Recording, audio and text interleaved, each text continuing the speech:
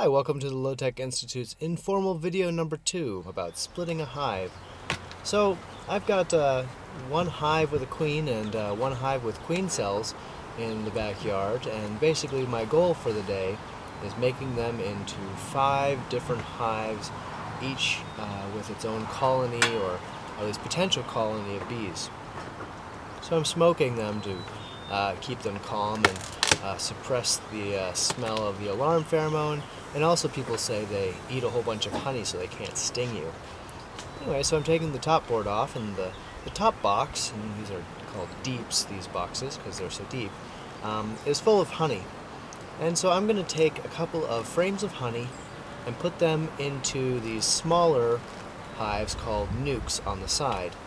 And I'm going to give each nuc uh, you can see one here, and there's two more on the ground behind me out of frame. I'm going to give each one of these frames, sorry, I'm going to give each one of these nucs two different frames of honey so that the nascent uh, colonies in there are going to have plenty to eat. So I'm going to jump ahead here uh, once I get this in there. And you can see it takes some of the bees with it. And this uh, nuc has a small entrance and it's a small hive. It only takes five frames, whereas each of these big hives right now have 20 frames. But that's okay because they're going to be getting a new queen and they're going to need to build up. So now I'm taking out another frame of honey. I'm going to pop that right in there. And I'll do the same thing for the two nucs that are behind me out of frame. So each one has two frames of honey. Then once this top box is mostly empty, I take it off and put it on the lid that I've set over here on the hive stand. Now you can see that cluster of bees in the middle of the box. They're actually protecting all the brood, they're keeping it warm. And so what I want to do is go in here and pull out the frames with brood because they've made queen cells. See that there's a little bit of a mark I'm pointing out? That's a queen cell. That's going to become a queen bee uh, in another two weeks. Basically, uh, when this hive was made queenless, they made one of the worker bees into a queen bee by feeding her royal jelly. Really, there's no difference between a queen bee and a regular bee except for how they're raised. It's just that they're getting um, extra royal jelly. And here I'm pinching off a small uh, queen cell because I only want the biggest, best looking queen cells in each nuc. I don't want any wimpy small queens. So I put that in there, and that's got the queen cell and a whole bunch of brood on it, basically bees that are going to hatch in the next 21 days. And then I'm going to take out this frame, which has brood on it, and I'm going to perform a little surgery. I'm going to cut out a 2 inch by 2 inch piece of the comb because the next frame I pull out after this, and here I go, I'm going to shake all the bees off here so that I can do the surgery. They're not big fans of that, but it's a good way to get the uh, comb clear.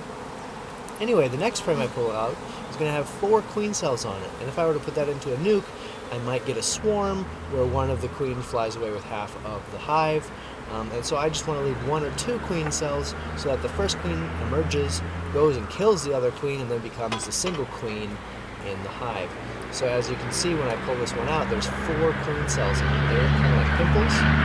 What I'm going to do is very carefully cut around a 2 inch by 2 inch square around the queen cell. I'm not going to touch it at all, but I'm going to get all the comb around them. And then I'm going to transplant that into the 2 by 2 cut that I made in the other frame. And here it comes. I'm about to pull it out. And this is very delicate work, and this is unusual. This isn't like a normal, everyday type of beekeeping thing, and this is the first time I've ever done this sort of uh, cut out and then uh, reattaching to another hive. But this way, I'm going to get three nucs, each with queen cells in it rather than only two, which would be only possible if I didn't take them off this frame. So there they go, I have the queen cells there, see? And then I put them gently into this other frame of brood and use the soft wax to mesh it in. There we go gently putting it in. It's kind of surgical. I used a linoleum knife that I sharpened up really sharp and it cut right through the comb real easy. I avoided, there's uh, metal bands in the comb to help keep it straight. I avoided those. And then I put the extra comb that I'd cut out of the first one back where those queen cells had been just to plug up that hole.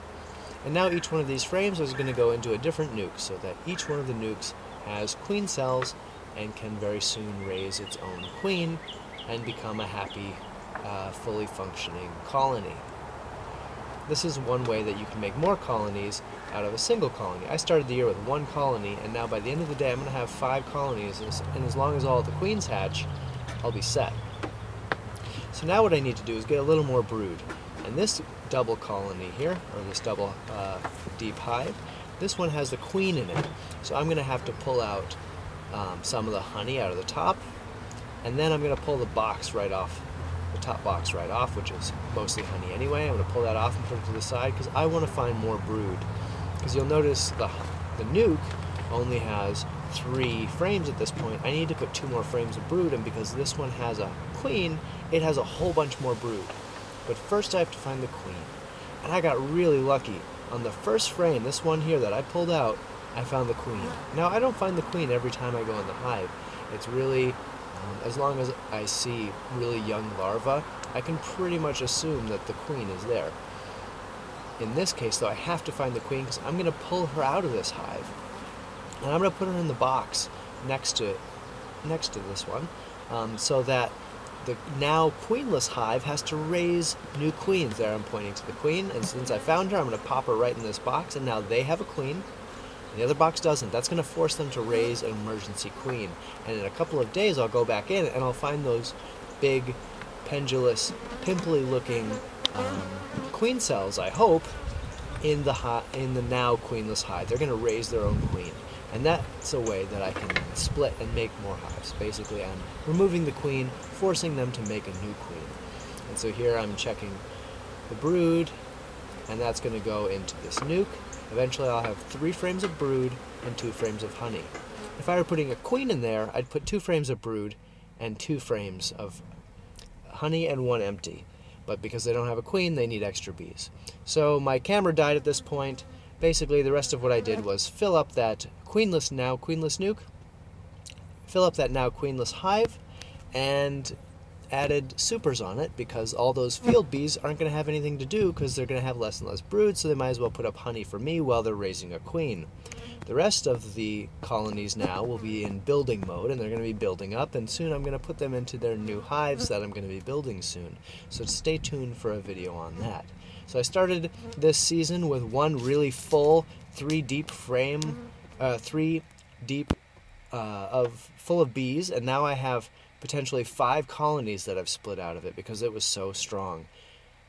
Stay tuned for more videos. Uh, we'll have a couple more uh, informal and formal videos coming up soon. Uh, and I'll be updating on the blog and the website about how my beekeeping goes throughout the year. Thanks for checking out this video. Uh, please head to our website, lowtechinstitute.org, for more videos and information. Thanks for stopping by.